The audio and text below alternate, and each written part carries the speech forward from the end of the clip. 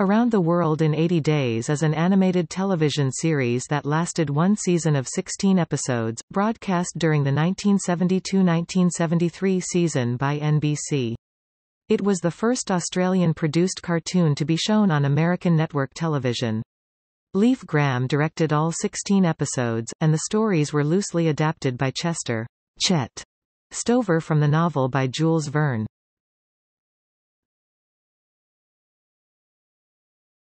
Topic. Plot More comedic in tone than Verne's novel, the motives of Phileas Fogg Alastair Duncan, differed somewhat from those of his literary forerunner. Fogg was passionately in love with Belinda Maze Janet Waldo, whose uncle, Lord Maze Owen Weingott, sternly disapproved of the commoner Fogg marrying his niece. Fogg proposed a wager, if he could travel around the world in 80 days, then Lord Maze would give him Belinda's hand in marriage, if Fogg failed, he would abandon her.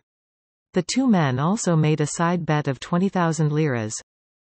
Fogg was accompanied by his manservant, Jean Passepartout Ross Higgins, and Passepartout's pet monkey, Toto. They employed all the methods of transportation available in the late 19th century balloons, trains, elephants, and steam ships in the course of their journey. Fogg and Passepartout dispensed geographical knowledge to the audience at each of their stops. Lord Maze hires a saboteur, Mr. Fix Max Osbiston, to interfere with Fogg and Passepartout's journey.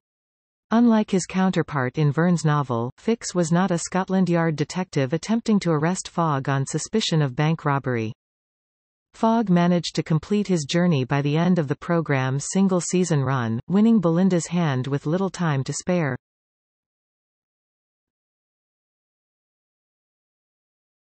Topic. Episode structure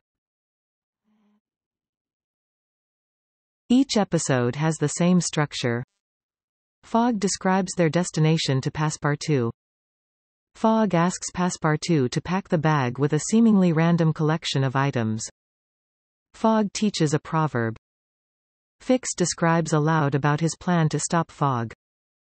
Fogg and Passepartout follow their itinerary, while Fix tries to stop them. During the journey, Fogg finds the time to explain the history and geography of the locations they visit.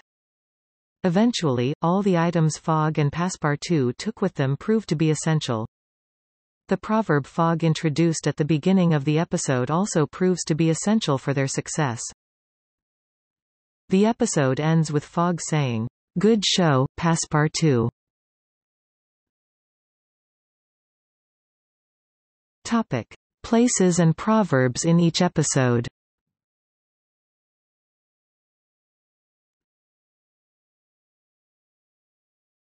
Topic. Production history The series was produced through Australian Air Programs International, one of whose staff producers, Walter J. Hucker, served as the showrunner. NBC transmitted the 16 episodes in the United States on its Saturday morning schedule during the 1972-1973 season.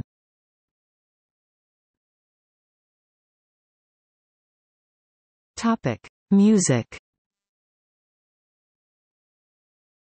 John Sangster composed the theme music, set to a variation on the tune of Mademoiselle from Armentières.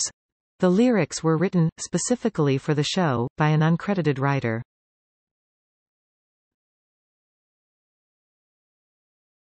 Topic. Home video release